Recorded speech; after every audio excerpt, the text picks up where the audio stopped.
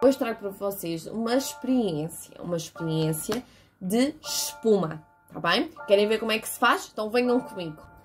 Para esta atividade vamos precisar de uma garrafa, detergente a louça, uma meia velha ou sem par, uma tesoura, atenção que a tesoura é preciso termos o adulto por perto para nos ajudar a cortar, e um pratinho.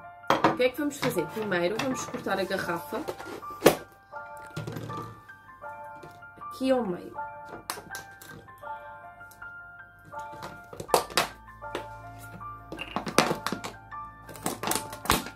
É preciso ter atenção e pedir ao adulto para nos ajudar. Pronto. Com esta parte, vamos buscar aqui a nossa meia. Vamos cortar assim.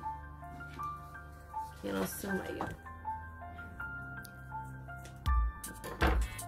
E vamos colocá-la aqui, assim.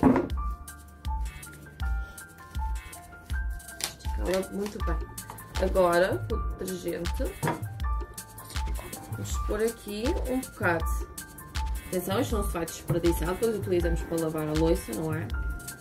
Vou puxá-la bem para cima, deixar esta parte aqui aberta passar aqui. E agora...